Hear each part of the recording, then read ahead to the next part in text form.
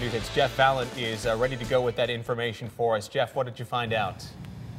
Well, good morning, Chris. Once again, yeah, uh, this all happened very close to where we're standing right now.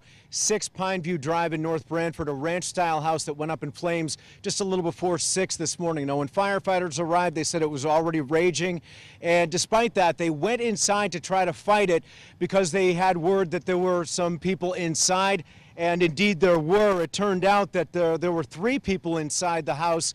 Uh, now, firefighters eventually had to retreat back outside uh, because of just the intensity of the situation, and eventually the roof of the house collapsed. Uh, two of the people inside did get out. The third, we are hearing, uh, did not and has, uh, and has died in this fire. Now, we don't have any information, even gender, let alone any identification of any of the people involved here.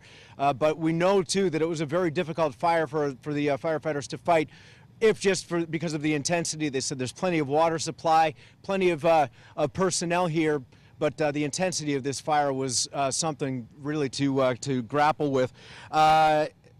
Uh, now, uh, in terms of a cause of this fire or exactly where in the house it started, the firefighters tell me that they don't know that yet, but they're hoping they'll be able to get some of that information perhaps from the two people who got out, both of whom, by the way, are expected to survive. We are live in North Branford. We're going to send it back to you.